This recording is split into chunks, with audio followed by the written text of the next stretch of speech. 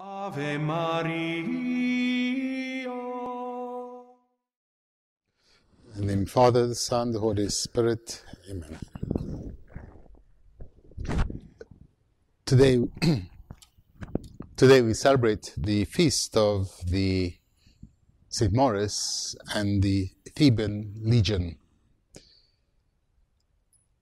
They were martyred in the year 286 under the um, Emperor uh, Maximianus. Egypt, um, in particular, with um, Alexandria as its capital, was intensely Christian, passionately so. They were even called fanatics. Today's feast, that of St. Maurice and the Theban Legion, is a feast celebrated from the 4th century. Um, and is celebrated not only by the Catholic Church, Latin Church, but also by the Orthodox Church and the Coptic Church, which shows you how important this feast is, as well as how ancient. As I said, the Egypt was regarded as the furnace, if you like, of, of Christianity. The great fathers, the monks, in fact, Saint Anthony, had established the monasteries in the desert, and to this um, people flocked by the thousands.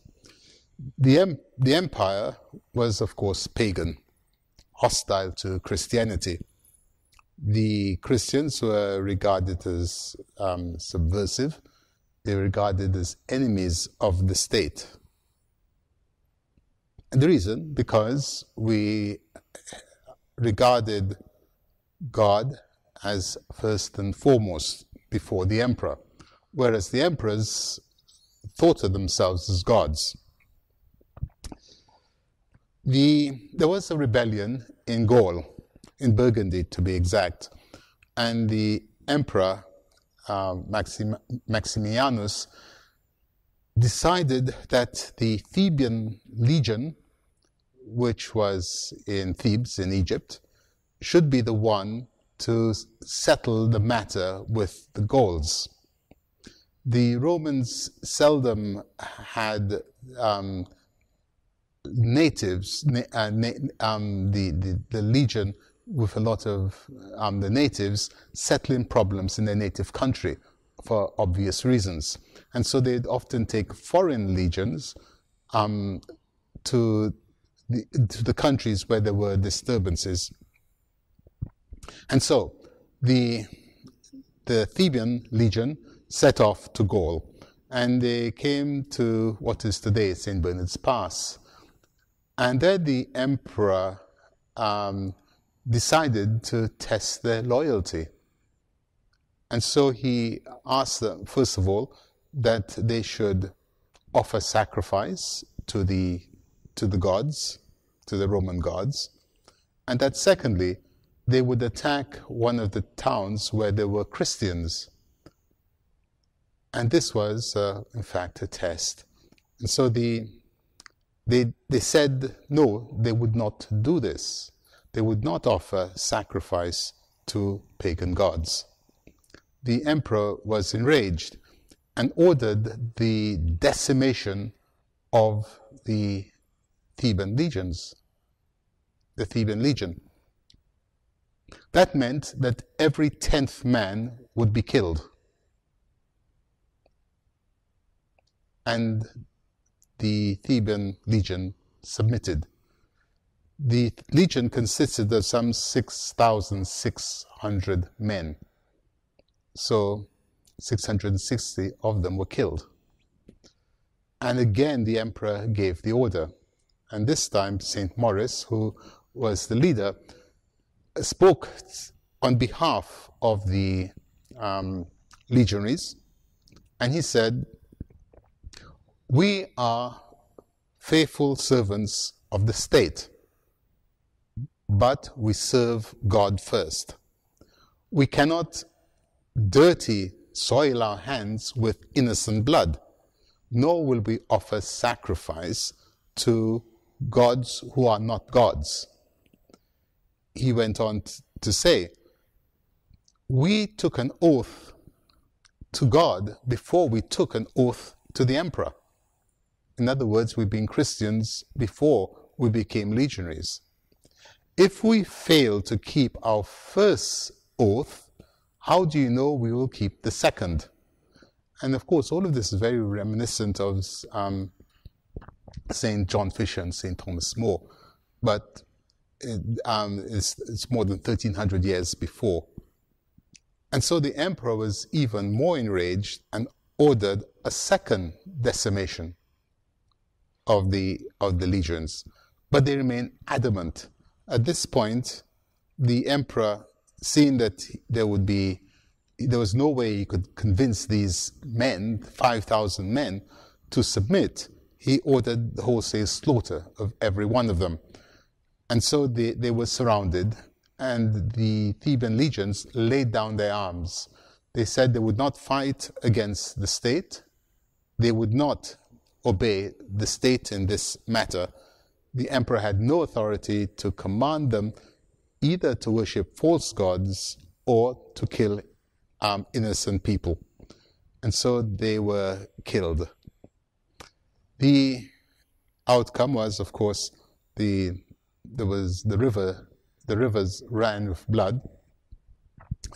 But their their fidelity to Christ was so well recognized that the the um, the, the the city where this where this um, took place is called after Saint Maurice.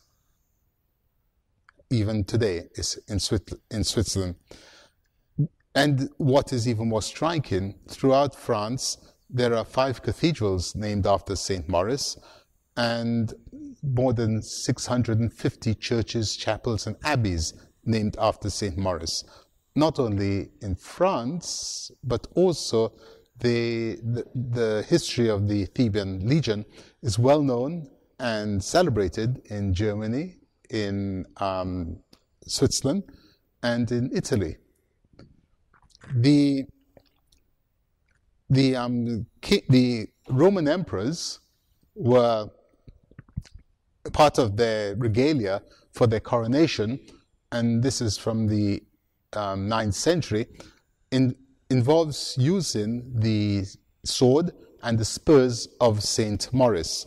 There were many, many um, paintings, mosaics, uh, frescoes depicting the, the death of the Theban legion, the martyrdom of the St. Maurice and his companions.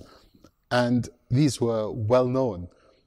In fact, the, when, when, we, when you visit the churches dedicated to him, especially the older ones, you'll notice that the images are of, of legionaries who are black, which again brings us to the present day, when many people foolishly believe that the, the, the church has uh, um, ha, um, was prejudice.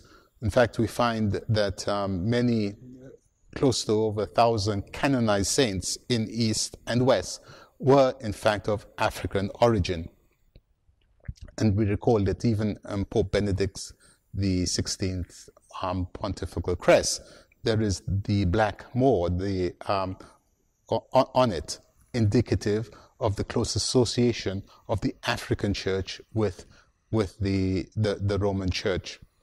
And so the witness given by the, by the um, martyrs calls to mind what our Lord said, you know, that, um, th- that the, we, we need to give to God what is his due and to Caesar what is his due. And certainly this applies to us even today.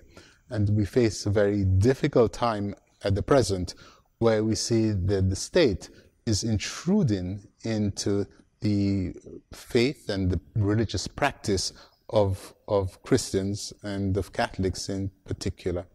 So we ask for that wisdom that the martyrs had, the courage that they had to stand firm and to give to God what is his due and to give to Caesar what is his due.